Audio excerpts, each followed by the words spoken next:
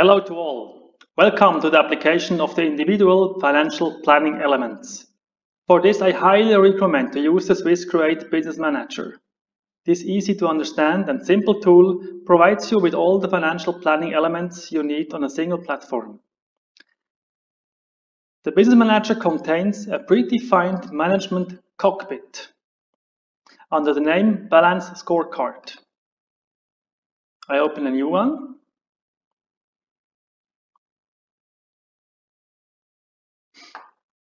And as you can see here down below, the four main elements in the scorecard correspond to the four areas from the corresponding part in the intro movie clip.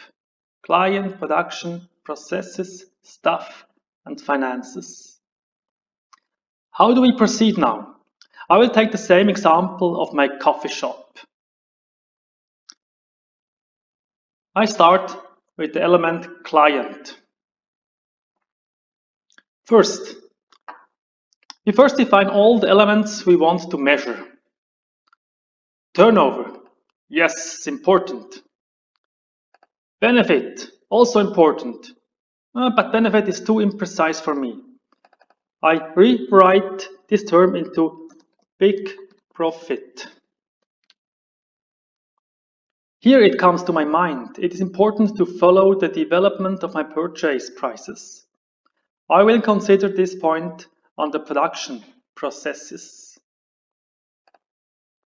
New clients. Yes, I take it. Complaints. It's important, but I don't want to look at it separately. I will put this aspect into the next topic, customer satisfaction. So I can delete it.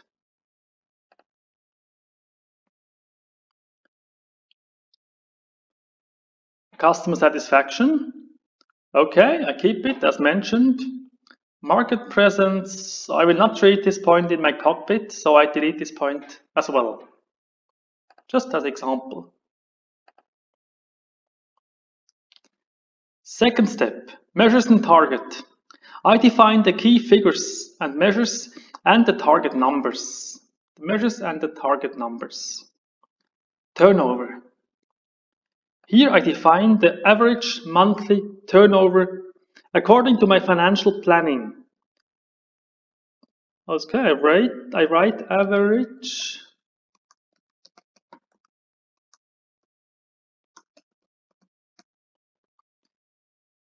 And this number I will find in my planned profit and loss statement. So I wrote there, a year I make a turnover of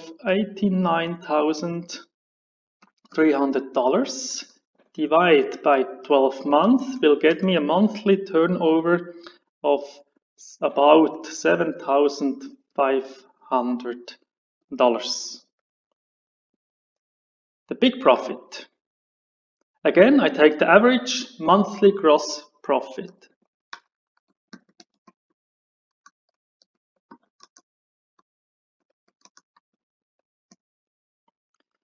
This number I will get again from the planned profit and loss statement. There I find out that I will have a gross profit per year of $70,790 divided by 12 months and I will get a monthly gross profit or big profit of about $5,900. New clients. I don't just want regular clients, I want new clients too. How could I measure them? Mm, maybe just with an estimate. Well, I know how many coffees I sell a day. And for every client I don't know, I will keep a tally sheet.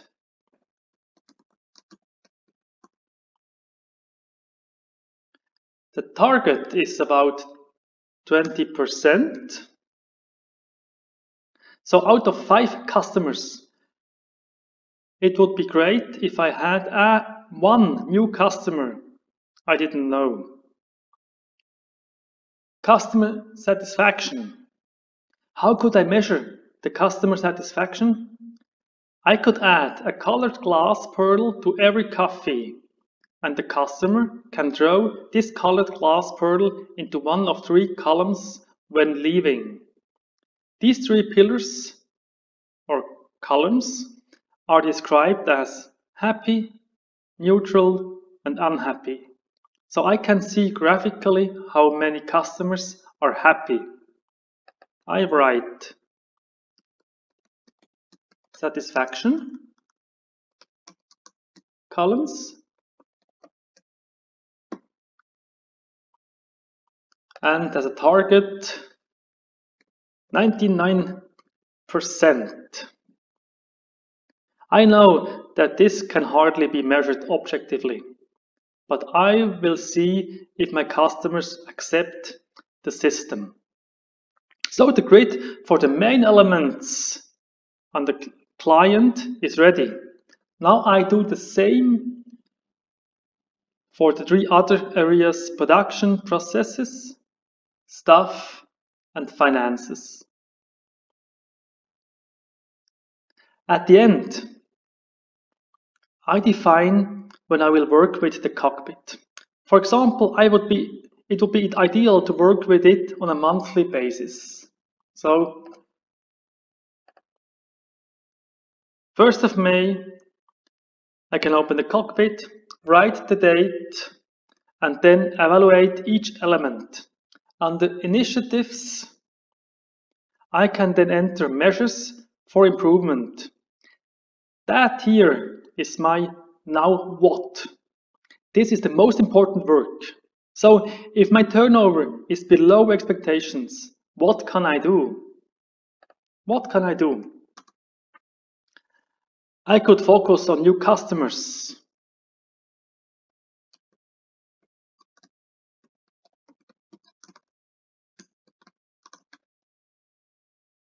Until middle of May.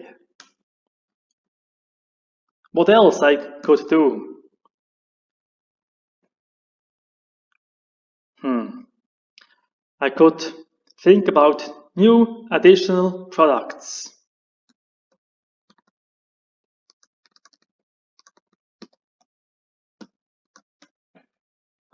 Until 20th of May.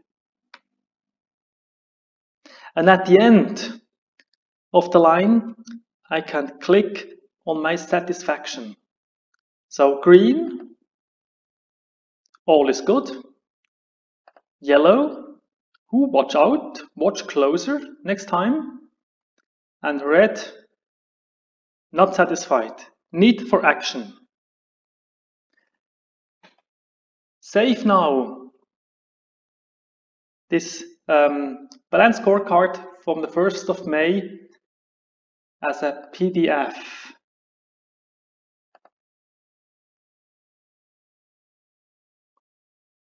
and save it.